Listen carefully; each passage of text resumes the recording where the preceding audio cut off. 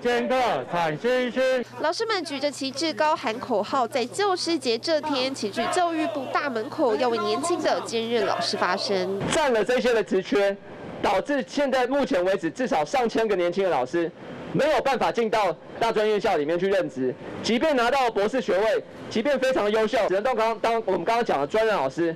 或者是更甚至更惨的兼任老师。教育团体调查，截至今年年底，各个大专院校有多达六百多名的双薪教师，也就是退休公职人员，领着月退俸又到私校任教；还有大约三十名的教育部高官，退休后照样到私校任职，导致将近千名的年轻老师受到影响。每个老师在学校只有四节课、六节课，每天要跑不同的学校，但是只能领钟点费来养家。其实这是相对辛苦，薪资减半。专业呃工作量增加，大部分老师其实就失业就转职，呃就甚至就提早退休。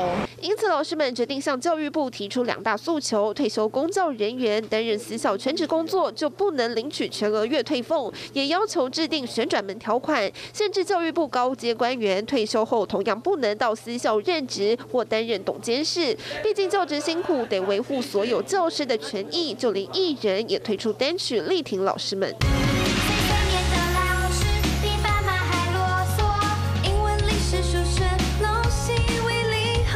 王子教邀请下，吴珊如挺着孕肚献出录音室出体验，超萌双胞胎左左右右也代表小朋友们向老师说声辛苦了。还有歌手黄韵玲，同样是老师的徐威也来现身，要给全台教师满满祝福。谢谢老师。